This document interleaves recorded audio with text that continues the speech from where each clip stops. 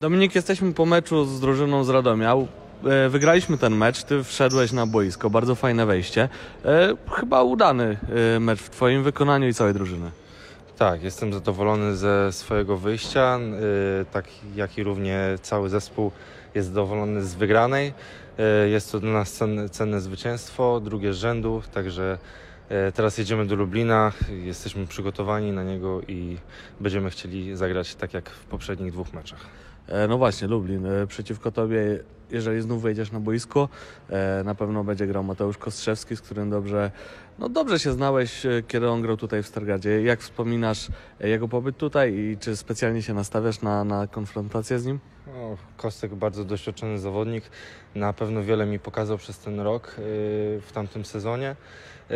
To będzie fajna rywalizacja, jeśli, jeśli uda mi się wejść na boisko i zagrać przeciwko niemu. Będę to dobrze wspominał. No i zobaczymy, zobaczymy jak to będzie. E, Wspomniałeś, że dobrze się przygotowujecie, trenujecie. Jutro już wyjazd do Lublina, długa droga przed wami. E, Jak wyglądały przygotowania do tego meczu? Ile razy trenowaliście i intensywność tych treningów? E, Intensywność na pewno jest coraz większa. Trener Łukomski przygotowuje nas do, do tych ważniejszych meczy.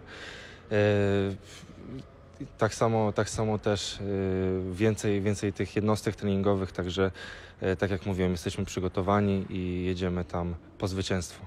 W takim razie powodzenia i minut na boisku. Dzięki.